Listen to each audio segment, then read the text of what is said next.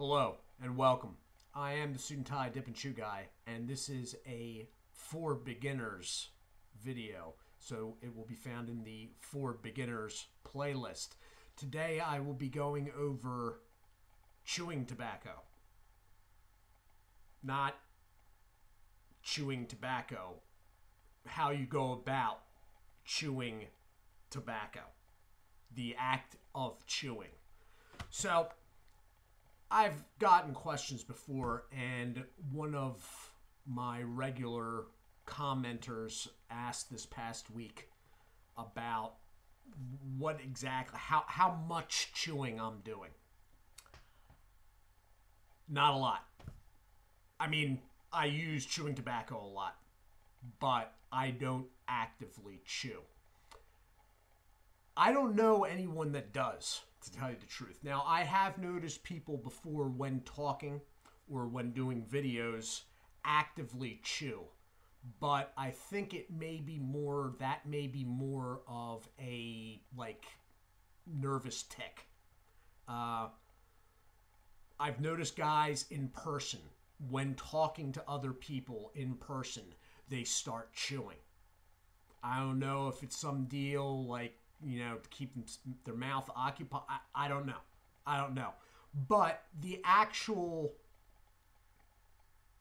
use of chewing tobacco, normally, when people aren't talking or doing videos or whatnot, is very minimal at best. Um, personally, I I I need it a little bit with my molars. And sometimes if I'm not getting it juicing up enough, I will bite, I will make a point of biting down. Besides that, the only chewing I do is when I get it into my mouth. Now, I do not place directly in the cheek. All right? If you've ever seen me do a chew review, I basically sort of take it like I'm eating it. And then with my tongue, I put it into the side. All right? While doing that, I do do a bit of chewing. Then I'm just trying to get it packed down. All right? Once it's packed down and it's in my cheek, I really don't do too much. Every once in a while, I will bite down on it or knead it slightly. So if this, let's say, usually I put chew on this side, okay? So if upper and bottom molars on that side, I will, the chew sitting here, all right, next to the, the, the bottom molars. A little bit that comes over the top, I will do sort of a action like this, just chewing sort of the edge of it. All right, I know this is a little bit hard to explain, but I will, will do at least once, two times, sometimes three. While I have one in, I will rotate the pack. All right, so let's say it sort of resembles an American football, all right? And point end out, point end back. I will rotate the ball in my mouth and I will bring it out of my cheek, rotate it sort of with my molars, and then place it back in. So, I am going to actually show you this. I'm, I'm, I'm not going to just sit here and talk the whole time. Uh, I pulled the big mountain back out of the refrigeration uh, yeah, I, I'm doing reviews of pound bags, and I'm still buying my own pound bags. So now I got a little bit of a jam up, and the big mountain got put to the back of the line. So when I do reviews, I put in more than I probably normally use. The reason for that is I always take a big three finger pinch out to show the product. And since I don't want to put it back in and then repick up again to place, I just take that three finger pinch and put that in. So really, in a way, I for most of the reviews, I actually have put more loose leaf in than I probably would normally take. A little bit, a little bit more. So it doesn't matter for me though because I basically put it like you're eating food, and then I move it over with my tongue. But you can place it in a cheek. Now, what you're going to do is it's still going to be a three finger pinch, but you want it to be uh, a more compact pinch, which may be a little difficult with this product because it's cut pretty long. But you take it, and what you're going to do is, now I'm going to have to do this on my opposite side because I am right-handed. You sort of put it into your mouth and then push with your thumb. So it's sort of a, and then close, pulling your thumb out, all right? Or you could do it the opposite way, pushing with your fingers on this side. So let me show you what I'm talking about. Now, this stuff is longer, so I'm going to take a smaller bit, all right? So that is much smaller than what I take during the reviews because during the reviews, I'm trying to show as much of the product as possible. So I'm going to put this in and I'm going to pack in to this cheek with my thumb. All right.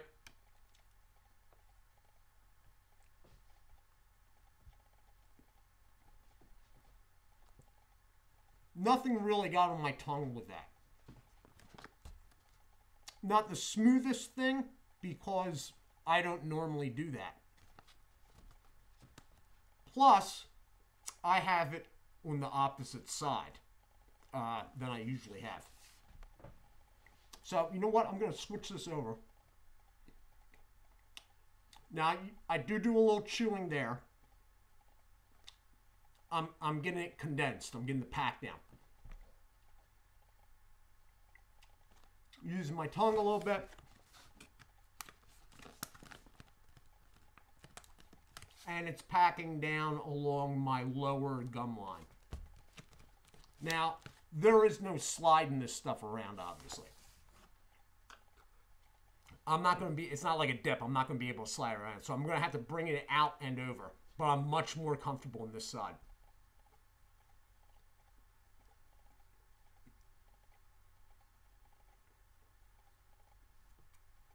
Now it's over here.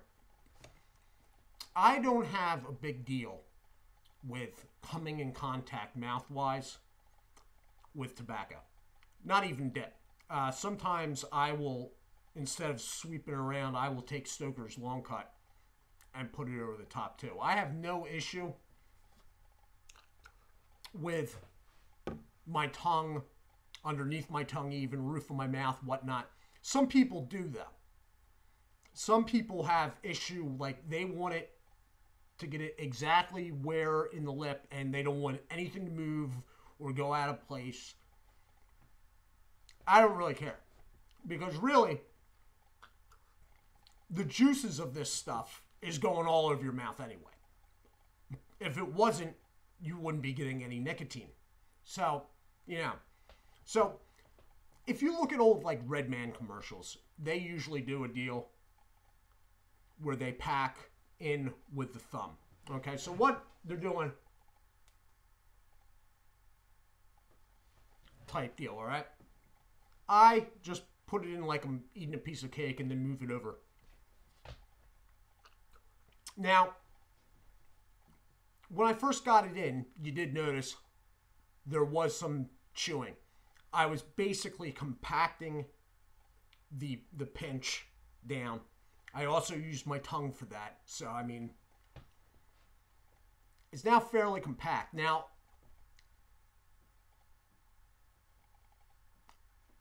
it comes over the teeth. It comes above your bottom molars a little bit, even the smaller pinch that I did. I will, from time to time, do a sort of do a deal like, obviously not with my mouth open when I do that, but for the sake of showing you what I'm talking about, right there, back of the molars. Or if I'm really, really dry, I do this a lot during the summer. So when I'm outdoors, if I'm, you know, dry, dehydrated, whatnot, I will sometimes pull up the whole plug up between my molars and bite down. And I might give it a couple bites just to get it juicing a little bit.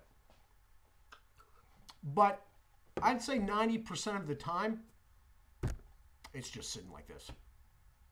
It's, it's just sitting in there. Uh, you know, I it, some chewing tobaccos will take more actual chewing than others. Now, for all my complaints with American Snuff Company products having too many secondary stems and being drier and whatnot, I will give them that if you are actively chewing, their loose leaf, Levi Garrett, you know, Taylor's Pride, Morgan's, that those products will take more actual chewing. Some Stoker's products will not. Okay, they are so saturated and so wet that if you start chewing on them, like chewing, like the apple, it'll just start breaking down to smaller and smaller bits. When you try to get it out of your mouth, it'll be like having a whole bunch of floaters everywhere. All right, because the tobacco is so saturated and the moisture is so high, it doesn't take much to start mashing that up into smaller bits. So it, it depends on the product, but really, if you look at old commercials and whatnot, there's nobody sitting on a Red Man commercial going,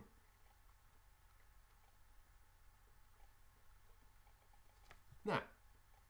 There's a bulge. Sometimes they have it up high. It's just there.